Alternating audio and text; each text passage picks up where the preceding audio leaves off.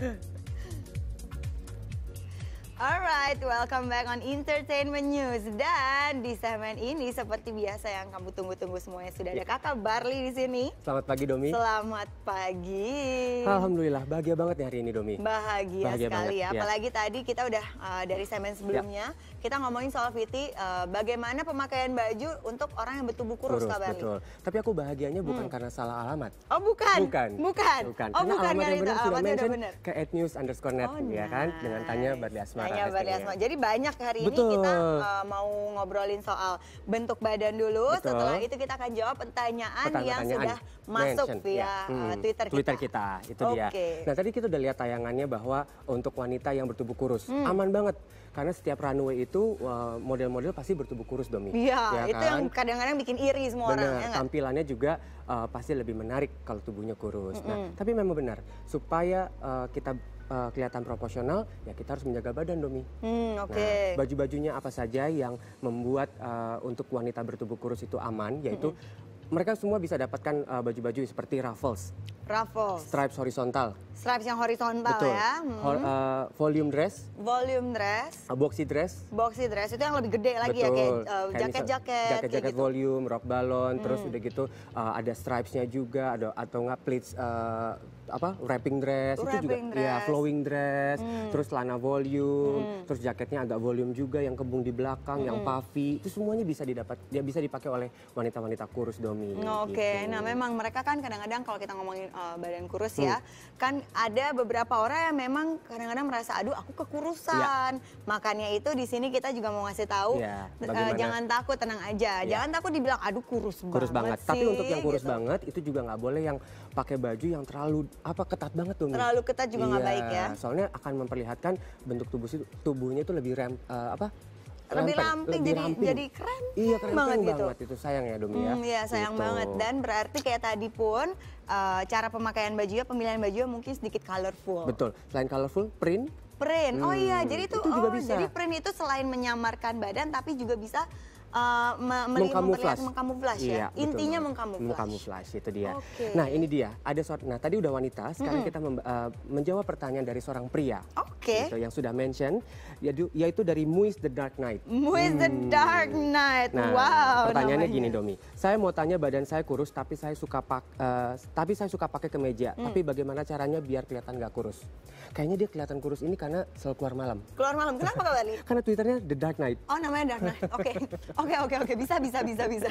Nah ini uh, berarti dia punya badan yang memang genetically Iya. atau keturunan sudah kurus, Kurus. ya Seperti kan? saya sebenarnya Domi. Iya benar. Sekarang gimana caranya supaya nggak terlihat ya, kelihatan Oke, kurus banget? kita bahas Nih, ya. Nah. contohlah kakak baru di sebelah saya. Contohnya gini Domi, pertama ada orang yang bilang gini, eh, supaya pakai eh, supaya kelihatan gemuk, Hmm. kamuflase dengan baju. Sebenarnya salah Domi. Oke. Nah harusnya adalah balik lagi ke tubuh kita, tubuhnya harus sehat.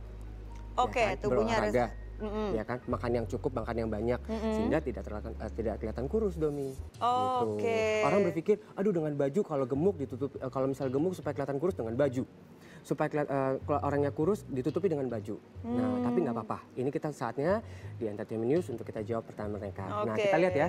Nah, ini dia ada beberapa gambar A Thousand Way to Mix and Match dari aku. Mm-mm, Nah, siap. pertama bisa pakai blazer dengan dalamannya ada eh, sweater. Mm-mm. Terus pakai kemeja ke- ke- kemeja lagi. Pakai kemeja lagi. Betul. Oke, jadi bisa dirangkap ya istilah Betul. gampangnya tuh dirangkap. Seperti ya, yang aku kan, pakai. Jadi udah pakai kemeja, Jadi udah pakai pakai kemeja. sweater, Mhm. terus boleh pakai dasi kupu-kupu, boleh pakai shawl. Nah, tapi celananya untuk orang yang kurus Ya. jangan terlalu ketat.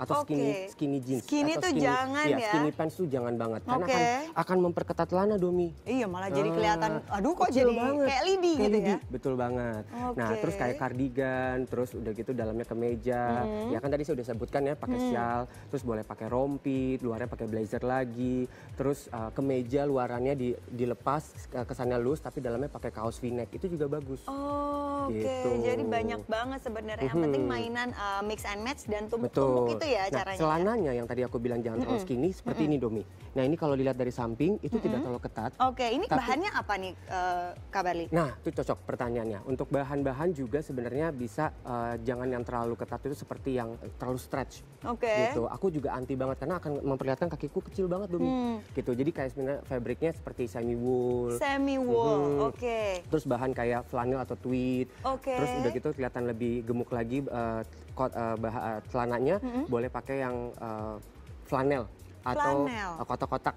Atau kotak-kotak ya? Ya, Oh, yang gayanya seperti begitu. Scotland itu. Iya, yang kayak Hmm. tartan seperti Tartan, Scotland. itu dia, oh, benar. Oke, jadi gitu Iya. supaya em, apa? Kelihatan lebih gemuk. Kelihatan lebih gemuk, Gemuk. lebih berisi lah Iya, ya. lebih berisi, Gitu. itu dia. Oke, nah kita masuk ke pertanyaan Kedua. selanjutnya berarti Iya, ya. itu dia. Ini Pertanyaan ada Dini kedua. dari Caria. Dini Caria. Dini Caria. Hmm.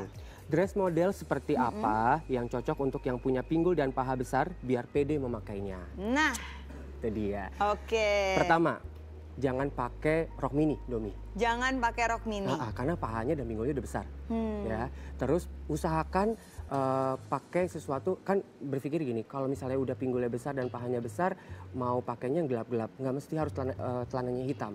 Boleh Oke. celana coklat, marun, biru tua. Marun, biru tua. Betul. Tapi yang tone-nya lebih kepada gelap. Agak gelap. Agak gelap. Kayak royal gitu. blue boleh. Royal Betul. blue. oh. Jangan celana yang warnanya kaki ya, atau beige atau Mhm. tanah putih itu akan memperlihatkan curvy-nya. Oke, itu Gitu. itu rok roknya itu sama itu tuh celana ya. Mm-mm. Nah, sekarang pertanyaan kan dress. Kita Iya. lihat yuk. Nah, ini dia. Ada beberapa dress yang memang bisa memkamuflase untuk pinggul besar dan paha besar. Oke. Pertama potongan dan siluetnya itu lebih clock domi. Oh, lebih jadi lebih clock itu jadi lebih flowing flowy, ya. sehingga menutupi bagian pinggul atas karena pinggul itu ada di bagian pinggul satu, pinggul dua, dan paha. Itu Mm-hmm. Oke. sangat berdekatan sekali. Oke. Gitu. Nah, untuk potongan yang seperti ini juga aman.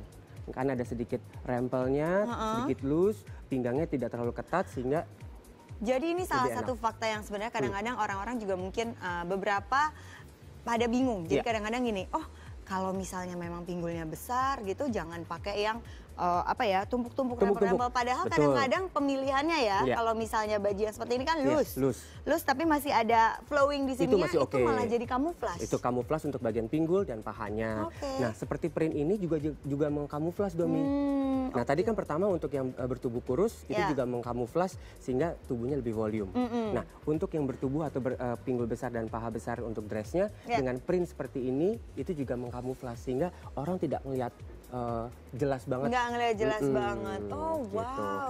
Jadi Itu memang dia. benar-benar tricky sekali Betul. ya. Yang penting kita benar-benar tahu, Tahu, motifnya. ya. Nah kalau yang, dress ini, keempat. nah dress yang ini Domi itu yang paling tidak tidak boleh diperbolehkan untuk yang bertubuh pinggul besar. Oh justru Hmm, tidak boleh. tidak boleh. Perhatikan berarti Karena tidak akan boleh kelihatan ya. Gitu. Hmm. Tapi dengan siluet hitam seperti ini itu akan memberikan outline atau memberikan siluet akan lebih kurus. Tapi potongan bawahnya agak lebih loose atau align. Oh, jadi mungkin Iya. dibikin seperti kayak ini. Oke, boleh atas eh, motif atasnya Betul. boleh, tapi bawahnya bukan align, ha- eh, bukan apa maksudnya Bukan- pensil, betul. tapi lebih ke Align. flare ya, Iya, lebih align. flare, betul banget. Wow. Nah, tapi color block seperti ini boleh dipakai oleh pinggul besar atau bertubuh besar. Oke, nah kalau gitu ada satu lagi pertanyaan Ya. terakhir nih dari Kipra Sasti. Ya, Dindia. Oke, kita lihat. Hai kakak, tren fashion apa sih yang cocok buat musim hujan kayak gini buat cewek yang nggak terlalu feminin? Memang bener, saat ini kan lagi Banget. musim hujan. Kayak aku dong, aku nggak terlalu feminin sih. Oh gitu ya? Tapi bajunya begini deh. Oke, dengan kita jawab pertanyaannya. Ya. Nah, ini pertama ya Domi ya, untuk musim hujan seperti ini jangan menggunakan celana yang berwarna putih.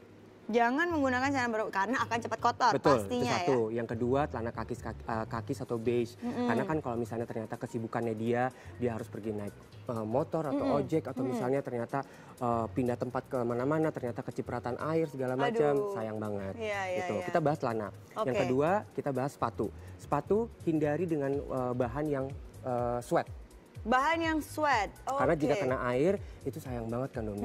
Itu dia. Atau kadang-kadang ada ya sepatu yang eh, bahannya kanvas kan. Itu dia. Yang eh, untuk eh, melukis kan Iya, biasanya kalau kalau yang belum tahu kanvas itu Hmm. seperti apa. Iya.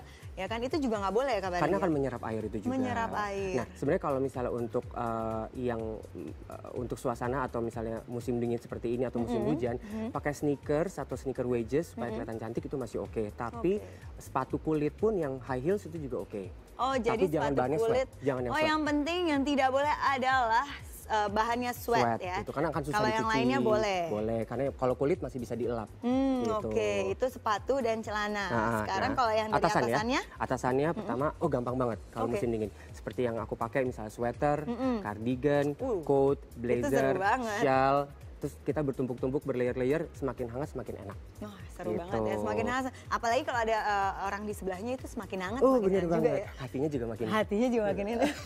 nggak dingin ya dong ya. Nggak dingin, nggak dingin, nggak berasa dingin lagi. Bener banget. Oke, nah itu tadi sudah eh, kita jawab tiga Ya, pertanyaan. Tiga pertanyaannya. Oke. Aku rangkumin dulu jadi Domi dari pertanyaan yang kurus, terus udah gitu ada yang memang bertubuh pinggul besar dan paha besar, Iya. terus ada yang eh, busana untuk musim dingin. Nah, dari semuanya tent- eh, pilihlah sesu- suatu baju yang memang sesuai dengan karakter. Ya, Ya, itu pertama. Yang kedua, terus eh, pilih juga busana yang memang sesuai dengan ukuran. Oke. ya karena memang kalau misalnya bertubuh pinggul besar ya kita hindari yang tidak terlalu ketat-ketat itu dia untuk yang bertubuh kurus boleh dengan layer-layer atau tiga tumpuk seperti kemeja terus pakai sweater pakai rompi pakai blazer lagi itu sangat boleh nah untuk yang wanita bertubuh kurus juga dengan ruffle horizontalnya terus uh, ruffle-nya terus volume-nya itu juga oke banget Oke, Ya, jadi yang penting gitu. kenali tubuh sendiri juga Betul. ya. Nah, sama lagi yang perta- eh, yang pertanyaan yang terakhir itu Ya. adalah untuk musim dingin, untuk musim hujan, Benar. pakai sweater, terus udah gitu sepatunya juga dihindari dengan yang sweat. Nah, ada lagi tambahan Domi, Oke. sepatunya pakai yang jelly shoes juga oke. Jelly shoes juga Iya, nggak apa-apa nggak ya? apa-apa. Terus Oh, eh, gitu. ankle boots atau sepatu boots yang memang mau ke lebih gaya ya. Oh itu Gitu. aku itu suka banget Hmm. sama yang namanya ankle boots, boots apa pun Iya, gitu. Uh, betul. nice. Nah, untuk tasnya dan aksesoris juga jangan terlalu eh, warna-warna beige atau warna-warna muda. Karena akan gampang sekali, Gampang eh, sekali kotor. kecipratan, Kecipratan kotor ya. kotornya itu dia. Oke, nah kalau gitu terima kasih banget. Iya. Sekali lagi Iya. ya nanti kalau misalnya ada pertanyaan, Iya. silahkan kirimkan pertanyaan ke @inews underscore Underscore net. Dengan hashtagnya apa Kak Bali? Tanya Barli Asmara. Tanya Bari Asmara. Itu dia. Oke. Oke, kita selesai dulu. Iya, kita udah Oke. selesai dulu. Oke. Thank you so much. Thank you so much. Life is So- short to wearing boring clothes. So every day, style is must. Style is a must. Uh, cool. We'll be right back after the break.